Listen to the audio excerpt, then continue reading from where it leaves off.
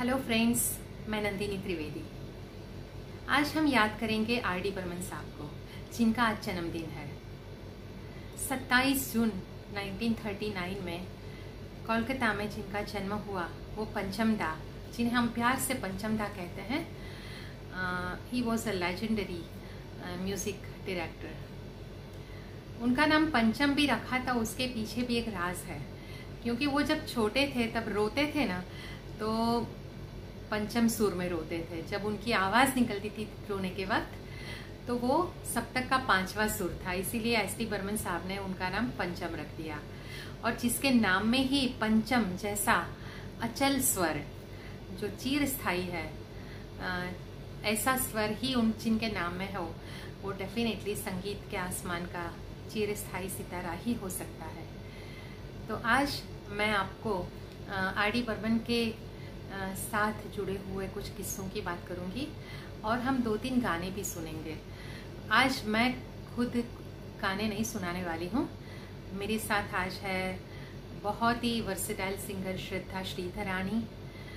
मेरा, मेरे प्रोग्राम्स में बहुत बार जिन्होंने गाया है, वो सुमित नागर और खुशहाली भट्ट, जो गुजरात की यंग टैलेंटेड सिंगर है। तो वो तीन जन आज आपको गाने सुनाने वाले हैं, लेकिन थोड़े किस्से मैं बताऊँगी। कोइंसिडेंटली मेरे जो सबसे फेवरेट म्यूज़िक डायरेक्टर्स हैं मदन मोहन साहब एंड आर डी बर्मन साहब, वो तीनों का दो, दोनों का जन्मदिन दो दिन के अंतराल में आता है। तो हमने 25 जून को मदन मोहन जी को याद किया, आज आर डी बर्मन साहब को याद करेंगे। और आर डी बर्मन के बारे में तो क्या कहें, इतने सारे किस्से हैं, उन, इतने सारे गाने हैं लेकिन आज मैंने ऐसा सोचा है कि मैं आपको आर डी बर्मन साहब के क्लासिकल गाने सुनाऊँगी, क्योंकि क्लासिकल म्यूज़िक मेरे दिल के करीब है। और उनके जो फ़ेमस गाने हैं, पिया तू अब तो आजा, दम मारो दम, तीसरी मंजिल के गाने, वो सब तो बहुत इमोर्टल है ही। लेकिन जो क्लासिकल गाने उन्होंने बनाए, वो भी लाजवाब है। तो आज हम राग बेस्ड फिल्मी गानों की बात करेंगे और कुछ किस्से भी सुनेंगे। क्योंकि he was such a genius person और फैब्यूलस म्यूज़िक उन्होंने दिया है और क्या नहीं क्रिएट किया। कहीं से भी वो साउंड क्रिएट कर सकते थे। चाहे वो कटोरी और चम्मच को लेके साउंड क्रिएट करना हो, जैसे चुरा लिया है, दिल में किया है। उसमें किया था ये साउंड क्रिएट फिर खाली बोतल को लेके कुछ उसमें से आवाज़ निकाल के साउंड क्रिएट करते थे। गार्गलिंग में से भी वो साउंड क्रिएट कर सकते हैं तो उनके बारे में तो क्या कहें क्या ना कहे। लेकिन आज हम उनके क्लासिकल गाने के बारे में सुनेंगे। He came with deep sensibility उनकी uh, वो कुछ नई साउंड लेके नई नई रिथम लेके और नई सेंसिबिलिटी को लेके भारतीय संगीत जगत में आए। और उसकी एक मिसाल मैं बताऊँ तो धम्मर दम मिट जाए गम बोलो शुभ शाम। हरे कृष्ण, हरे राम। आशा जी और उषा उत्तुप ने जिस तरह से ओवरलैप करके ये गाना गाया है और इसमें जिस तरह का म्यूज़िक है, उसने हिंदी फ़िल्म संगीत की शक्ल बदल दी। तो फिर वही फ़िल्म का जो टाइटल ट्रैक है, उसमें भी जिस तरह से उन्होंने स्टार्ट किया रा, री, रा तो ये साउंड क्रिएट करके भी एक नई इम्पैक्ट उन्होंने पैदा की थी। ऐसा ही एक गाना मुझे याद आता है आशा जी का। आशा जी ने उस गाने में एक ही गाने में दो आवाज़ निकाली है। वो ऐसा एक्सपेरिमेंट आरडी ही कर सकते हैं। वो गाना है गुलजार साहब का लिखा हुआ। कतरा कतरा मिलती है कतरा कतरा जीने दो। ज़िंदगी है ज़िंदगी है। बहने दो बहने दो। प्यासी हूँ मैं, प्यासी रहने दो रहने दो। तो इस तरह की दो टाइप की आवाज़ का एक्सपेरिमेंट भी आर डी बर्मन ने आशा जी के साथ किया है। लेकिन आज हम सुनेंगे उनके क्लासिकल गानों के बारे में। और उसमें मुझे सबसे पहले याद आता है उनकी फ़र्स्ट फ़िल्म छोटे नवाब 1961 में आई थी। उसमें एक गाना, लाजवाब गाना है। मेरा बहुत फेवरेट है, उसकी एक लाइन मैं सुनाती हूँ। और बाद में जो मेरे साथ तीन आर्टिस्ट आज जुड़े हैं, उनके गाने हम सुनेंगे और थोड़ी बातें भी, किस्से भी सुनेंगे। तो वो गाना है, राग मालकुंजी और खमाज का मिश्रण है इसमें।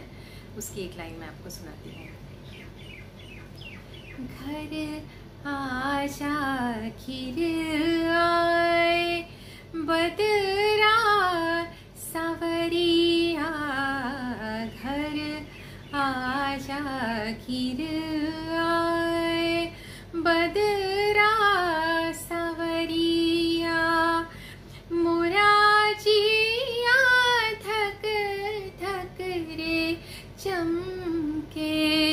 बिजुरिया खीर आई।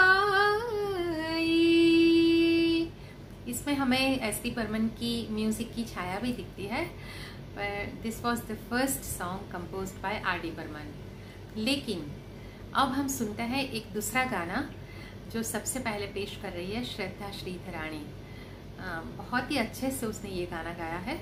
गाने के बारे में, मैं बाद में बात करती हूँ। पहले सुनिए ये गाना।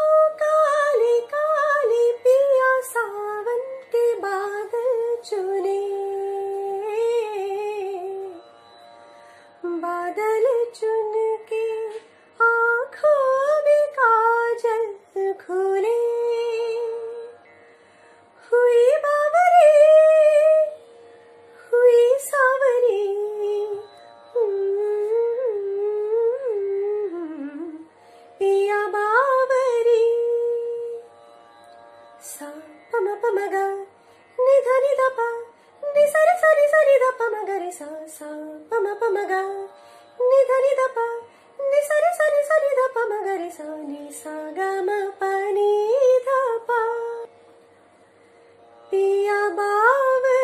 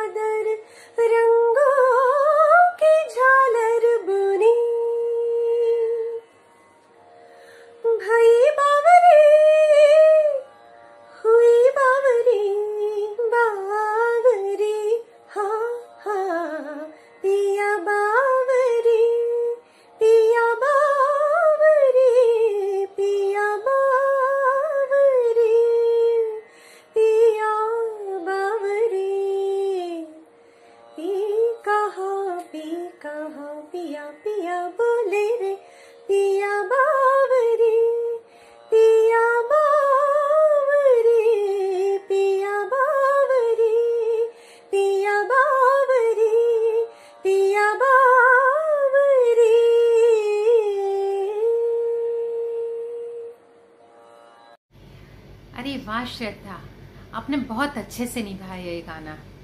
It's very difficult song to sing लेकिन क्या खूब आपने गाया। Thank you so much Asha ji को हमेशा ऐसा लगता था कि आर डी बर्मन जो बहुत अच्छे बेस्ट कंपोजिशंस हैं, वो लता जी के लिए रखते हैं। तो एक बार उन्होंने पूछा कि क्यों आप ऐसा करते हैं? तभी आर डी ने ऐसा जवाब दिया कि, आशा, आपके वॉइस की रेंज इतनी बड़ी है कि आ, मैं आपके साथ आपके म्यूज़िक के साथ आपके आवाज़ के साथ बहुत सारे एक्सपेरिमेंट कर सकता हूँ। जो लता जी के साथ नहीं हो सकता है उनके लिए तो मुझे बहुत खूबसूरत ही गाने रखने पड़ेंगे। And then she was convinced but उनको हमेशा लगता था कि मेरे लिए भी कुछ क्लासिकल गाना होना चाहिए। और सबके सरप्राइज़ के बीच आर डी बर्मन साहब ने फ़िल्म खूबसूरत का ये गाना जो अभी श्रद्धा ने आप, आपको सुनाया वो गाना आशा जी को दिया। और आशा जी ने क्या गाना गाया है। उसमें बहुत सारी सरगम है, तबले के पुल है एंड वेरी डिफ़िकल्ट कंपोजिशन पर आशा जी ने बहुत अच्छे से निभाया था। और उनको सेटिस्फेक्शन भी हो गई कि मुझे भी एक क्लासिकल गाना मिला। तो ये भी एक बहुत इंटरेस्टिंग स्टोरी है।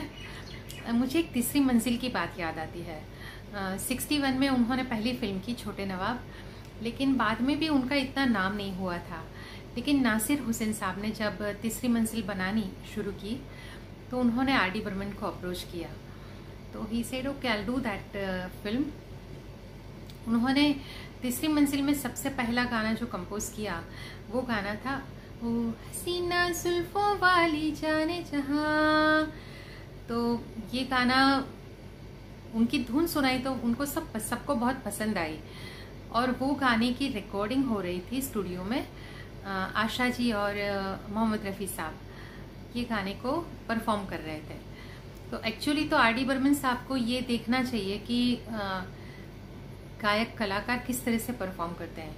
लेकिन शम्मी जी इतने मूड में आ गए थे ये गाना सुन के कि वो वहाँ कुछ टेबल पड़ी थी मेज के ऊपर। वहाँ ऐसे तबले के बोल बजा रहे थे। फिर wow what a song what a song करके झूम रहे थे। नासिर हुसैन साहब भी ऐसे झूम झूम के कुछ नाच रहे थे। तो आर डी बर्मन साहब वो गाना नहीं देख रहे थे, सुन रहे थे, वो उनका एक्सप्रेशन देख रहे थे। और आर डी बर्मन साहब ने ही एक जगह कहा था कि मैं इतना खुश था क्योंकि एक तो एक नई लहर आई थी इस म्यूज़िक में। और गाना इतना अच्छा बना था कि उन्होंने खुद ने बोला कि मैंने रफ़ी साहब और आशा जी जो गा रहे थे वो मैंने सुना ही नहीं। ये लोग को एक्सप्रेशन का देख के मुझे इतना मज़ा आ रहा था और वो लुत्फ मैं उठा रहा था। और गाना ख़त्म होने के बाद शमी जी मेरे आर डी बर्मन के साथ आ गए और उनको बहुत गले लगा के बोले कि you will become a trend setter तो आर डी बर्मन ने बोला कि मुझे पता भी नहीं था कि ये ट्रेंड सेटर वगैरह क्या है। पर उनकी ज़िंदगी का ये बहुत ही बेहतरीन किस्सा बन गया, ऐसा आर डी बर्मन साहब ने खुद ने बताया था। और हमें पता है कि तीसरी मंजिल ने हिंदी फ़िल्म म्यूज़िक की शक्ल बदल दी। एक पंचम युग की शुरुआत हुई। और वो युग कितना 25-30 साल तो बहुत अच्छी तरह से चला। तो ऐसी भी कहानियाँ हैं उनके साथ जुड़ी हुई, लेकिन हम चलते हैं एक दूसरे गाने की तरफ़। वो गाना है फ़िल्म अमर प्रेम का। राग तोड़ी में जिसकी शुरुआत होती है जिस गाने की। वो गाने में तोड़ी के बाद जिस आसानी से आर डी बर्मन साहब खमाज की ओर मुड़ जाते हैं। इट इज़ वंडरफुल ऐसा करना बहुत मुश्किल है, क्योंकि तोड़ी बहुत गंभीर राग है, और खमाज इट्स अ लाइट राग, जो ठुमरी में ज़्यादातर प्रयोग किया जाता है, उस इस्तेमाल होता है। तो इस गाने में उन्होंने दो राग का प्रयोग किया, और वो गाना इतना ब्लैंड हुआ है अच्छी तरह से, कि हम सुनते हैं वो खुशहाली भट्ट की आवाज़ में। Ah.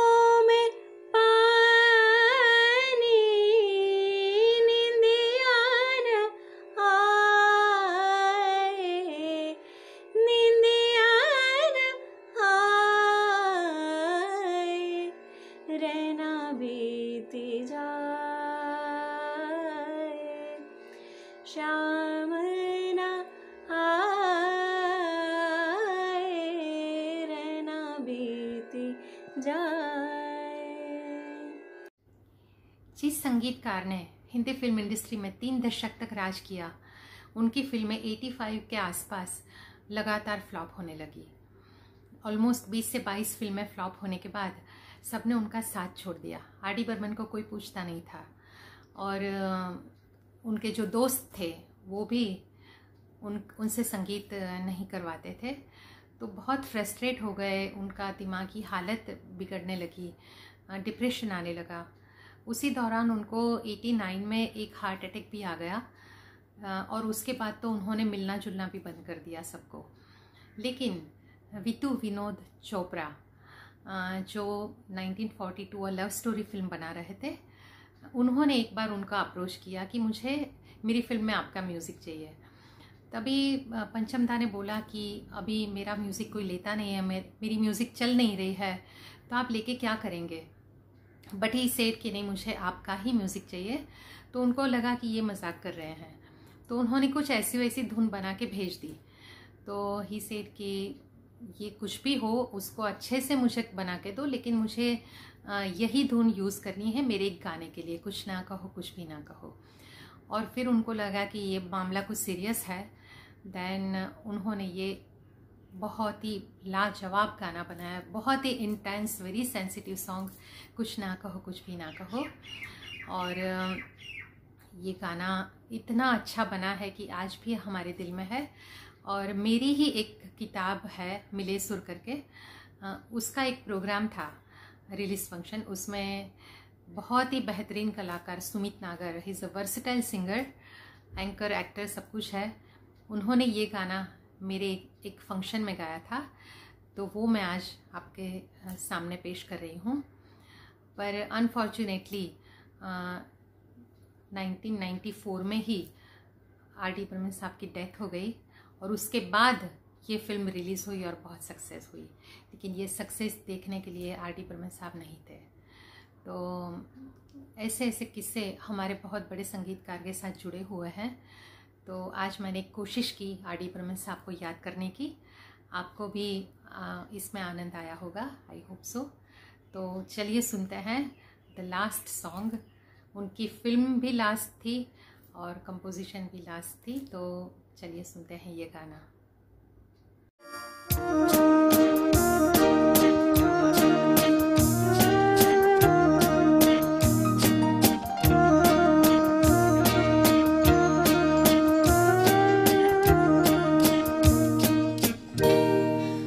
कुछ ना कहो।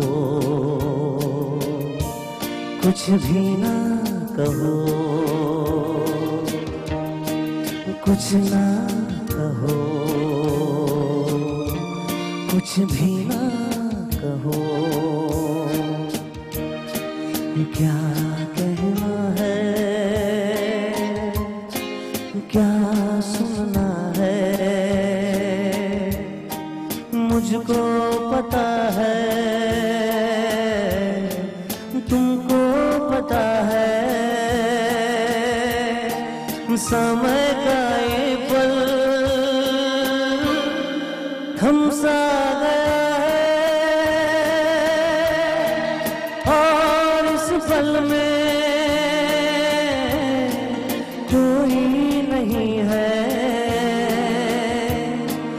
बस एक मैं हूँ बस एक तुम हो। कुछ ना कुछ भी ना कहो।